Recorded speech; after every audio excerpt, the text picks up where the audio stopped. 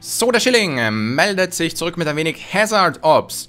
Diesmal PvE, der Modus heißt Assault Ops und das ist wohl, ich habe jetzt ein paar Modi mir angesehen, da muss man so eine Kampagne spielen und die dürfte nicht sehr einfach sein. Wir haben es da, also ich habe das versucht, ich, ich habe immer einen Raum eröffnet, zwei Leute, drei Leute, aber wenn man da nicht die volle Besetzung ist, also fünf für Assault Ops auf Big Dam oder so, dann kann das sehr, ja, wie soll ich sagen, sehr böse enden. Und die haben auch gerade erst angefangen, das ist gut. Nein, verdammte Lotte. Wenn ich jetzt rausgehe, habe ich einen Quit. Ich wollte im Prinzip mir noch... Ich habe extra so viele Silver Bullets angespart, dass man hier rechts oben diese Tokens bekommt. Wie kann der in der ersten Runde sterben? Also die erste Runde ist ja echt mal richtig einfach. Hm, ich wollte mir eben jetzt diese Silver Bullets aufmachen für die Tokens. Wenn ich jetzt rausgehe, habe ich einen Quit, aber hat man davon irgendwas Negatives? So, ich kann auch hier mal zusehen bei den anderen. Ich weiß es im Prinzip nicht. Ich sehe mir mal die Leute an. Wenn das Gute sind, dann bleibe ich. Wenn nicht, dann werde ich gehen. Also die untersten drei sieht man vom Rang her schon. Sind jetzt nicht so der Burn, aber der ist gestorben. Wie kann denn das sein, obwohl er einen höheren Rang hat? Hm. Denn das Problem ist, wenn ich dann sterbe und keinen von diesen 1-Up-Tokens da habe, dann, ja, muss ich rausgehen. Oder ich kann hoffen, dass mich jemand anderer belebt mit seinem Token, mit so einer Gruppenbelebung. Das geht auch, aber ob das jemand machen wird, das weiß ich nicht. Naja, jetzt bin ich in der Runde dabei. Ich sehe es mir einfach mal an. Und dann wird sich schon herausstellen, ob das die richtige Entscheidung war oder nicht. Gleich mal hier ein Teil mitnehmen. Es gibt auch ein paar egoistische Leute, die packen da irgendwie drei ein, nehmen für sich selbst drei von diesen Teilen und lassen den anderen nichts. Das ist natürlich auch nicht so spitzenmäßig, aber ich habe ein bisschen was dazugelernt. Einerseits das Nachladen, dass man immer in diesem speziellen Bereich trifft. Dann hat man nämlich irgendwie die Leroy Jenkins Munition. Die ist ziemlich krass. Dann versuche ich auch häufiger Headshots zu landen. Denn dadurch sterben die Gegner gleich. Ansonsten, selbst die Gegner können die anderen wiederbeleben. Und das ist ziemlich krass. Was macht der? Junge, noch nie was von Schwerkraft gehört. Alter Falter. Und ich muss auch zu meiner Verteidigung sagen, ich, ich weiß, ich war in den ersten Videos noch nicht so gut, bin es jetzt auch noch nicht, aber wenigstens kenne ich jetzt so zumindest ein paar Basics, das mit dem Nachladen und so weiter. Aber ich war jetzt einige Tage in Amsterdam, ah, wieder nicht geschafft, einige Tage in Amsterdam und das hat vermutlich keiner gemerkt, weil die Videos einfach oh, vorproduziert waren. Und da wollte ich noch einiges von Hazard, was habe ich hier rechts oben? Rookie, 2014. So, da wollte ich eben noch einiges von Hazard Ops bringen. Und ja, deshalb hatte ich da jetzt nicht so extrem viel Zeit, mir alles ganz genau anzusehen und zu üben ein bisschen und so weiter und so fort. Aber ja, da muss man eben Prioritäten setzen. Das ist jetzt meine Zweitwaffe oder wie das hier heißt, Sidearm, die lädt so lange nach, da hat man auch einen größeren Spielraum für dieses spezielle Nachladen. So, der darf auch sterben. Aber mit der Waffe trifft man auf Distanz nicht so gut. Deshalb muss ich mich da ein bisschen näher oh, zu den Gegnern ranwagen. Hier kann man mal eine Granate hinwerfen. So. Ja, aber das Timing war grandios. Das war zwar gar nicht so eingeplant, weil diese Reise schon länger gebucht war. Wir waren in Amsterdam, genau als die Niederlande gegen Costa Rica gespielt und gewonnen haben. So, ja, das, das war grandios. Und wenn man da genau in der Stadt ist und dort ein Public Viewing besucht, das ist natürlich nicht zu vergleichen. Das Beste war ja, als in der EM war das, glaube ich. Nein, der darf nicht sterben. Belebe den doch. Alter, hau doch ab. So, als in der EM damals Griechenland im Finale war, war ich auch in Griechenland. Auch eher zufällig. Aber als die dann gewonnen haben, alter Falter, da, da, auf der Straße ging es ab, also da hat man nicht schlafen können. Da ging die Luzi aber sowas von ab. So. Ja, ich hoffe, das schaffen wir. Ich meine, es sieht, sieht ganz gut aus bisher. Aber ich habe festgestellt, da zählt echt jeder Mann. Das ist genauso ausgelegt, wenn da jetzt fünf Leute stehen. Maximum muss man auch fünf dabei haben, zumindest später. So, hier schnappe ich mir auch eines. Das sollte reichen. Ja, Amsterdam ansonsten einfach eine richtig feine Stadt. Ich besitze ja eine Spiegelreflexkamera. Und habe dort, keine Ahnung, wie viele hunderte Fotos gemacht. So, so, Foto, Foto, Foto, Foto, Foto, Foto. Wie der größte Tourist irgendwie. Aber, ja. Hat auf... Oh, das hasse ich, dieser Rauch, Mann. Nerv noch mehr. Hat auf jeden Fall Spaß gemacht und war ein... Oh, war ein schönes Erlebnis. Rauch, gehst du mal weg, das wäre schön. Wenn man das übrigens fehlt, dann dauert das Nachladen irgendwie zwei Bazillionen Jahre.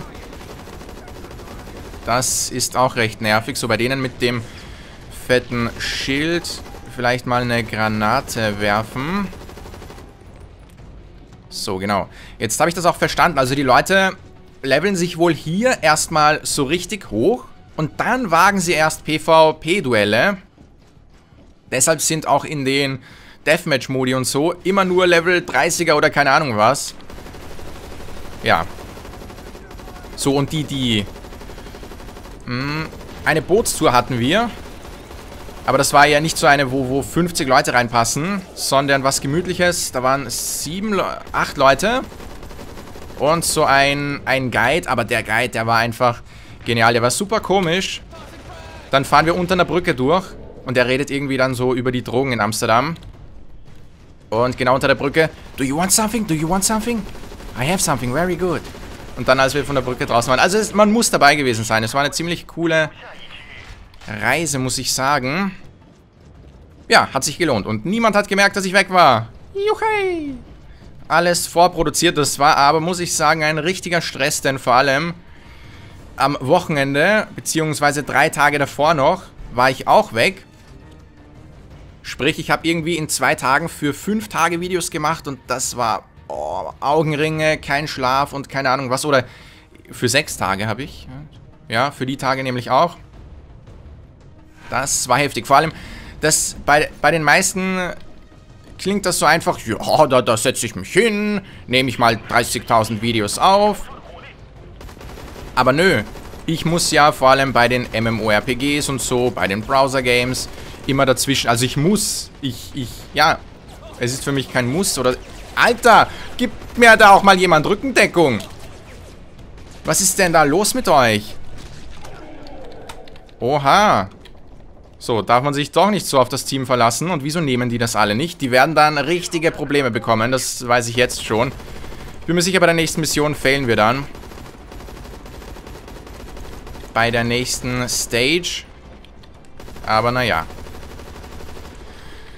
So, ja, ich kann mich da nicht so hinsetzen und einfach mal 35... Ah, jetzt hat mich der abgelenkt. Und einfach mal 35.000 Folgen aufnehmen bei meiner Art von Spielen.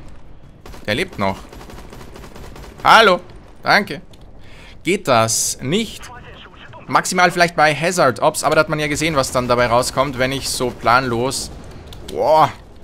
Aber das hat keinen Damage angerichtet, obwohl ich irgendwie genau getroffen wurde.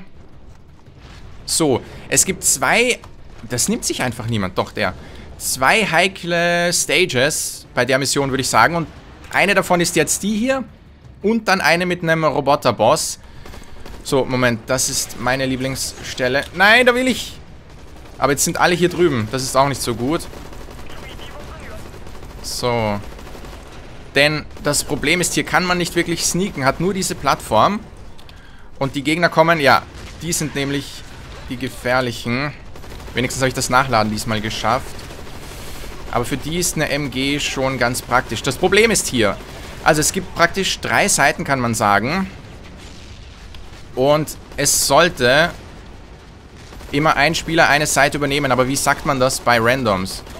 Wie teilt man sich... Oh, und wenn ich immer getroffen werde, dann heile ich mich nicht.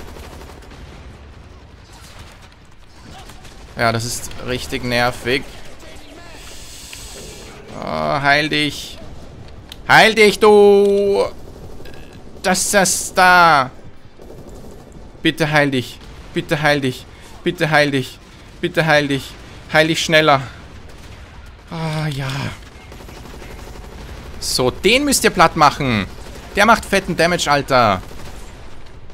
So, jetzt habe ich keine Muni mehr. Und die ist auch nicht nachgeladen. Oh, das war mein Fehler. Verdammt. So. Ihr könnt mich doch alle mal. Wieso bin ich der Einzige, der so fett down geht? Oh, ich habe kein Revive-Token. Nein, ich bin komplett tot. Alter, ich... Es lungern einfach mal... Hier, was machen die zu dritt hier? Und auf der anderen Seite ist kein einziger. Ach, Leute. Und ich habe jetzt kein Revive-Token. Ja, das habe ich versemmelt. Keine Ahnung. Ich die, ich war der Tank. Ich habe die Agro von allen Gegnern gepult. Ich kann jetzt nichts machen. Ich habe leider kein Token. Wie man hier rechts sehen kann. Na gut, es war ein Versuch. Der Robert chillt noch kurz sein Leben. Oder? Was macht er? Chillt ein bisschen. Ja, wir hätten es sowieso bestimmt nicht äh, ganz geschafft, weil das wird dann noch ziemlich hart. Aber die eine Stage, wie gesagt, die ist heikel. Und wenn da das Teamwork nicht passt, dann hat man Probleme. Na gut, dann gehe ich mal hier raus. Leider, leider. Aber vielleicht kann ich mir jetzt fürs nächste Mal diese Silver Bullets holen. Warum bin genau nur ich gestorben? Die anderen, die AFK einfach dort ich hätte nicht so aggressiv spielen dürfen, sondern einfach im Hintergrund halten. Ja, ihr macht das schon. Jemand anderen sterben lassen. So, und zwar gibt es hier, wo sind sie? Die Silver Bullets habe ich jetzt sieben Stück. Die verwendet man, das sind so wie bei manchen Games so Kapseln oder keine Ahnung, wie ich das nennen soll. Und da kann ich jetzt, badaboom, yes, hier wäre ein Token gewesen. Nein, dann hätte ich mich beleben können. Mann. Ein Gun-Torrent, die kann man irgendwie mit der Taste V oder so aufstellen, aber die sind verbrauchbar. Ein Shirt für einen Tag. Vergleichbar mit Primark, die hat man auch nur einen Tag an und schmeißt sie dann weg. Also ist eine Frechheit, finde ich. So, noch ein Token.